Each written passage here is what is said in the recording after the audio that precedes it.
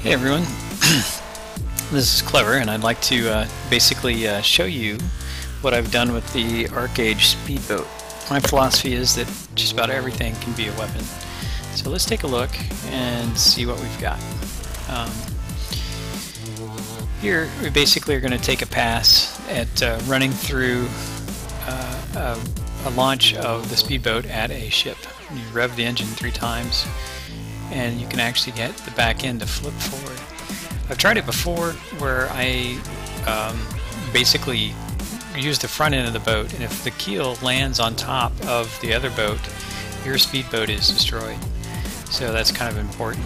One of the things that I have noticed is that if you do rev it and flip it so that the propeller hits first, even though your speedboat may be destroyed, if it can actually land on top of the deck, the collision continues to give damage.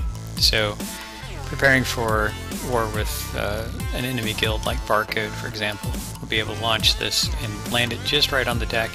Should be able to take out an Anoan as well as any other one. Now, my boat's already been destroyed, but it's actually caught in the collision on the boat above it. And as I'm clicking on it, you can see that it's already been destroyed. Now you can see the damage being done to the galleon, and they both go down. So this is a nice way of using the ArcheAge Speedboat as a weapon.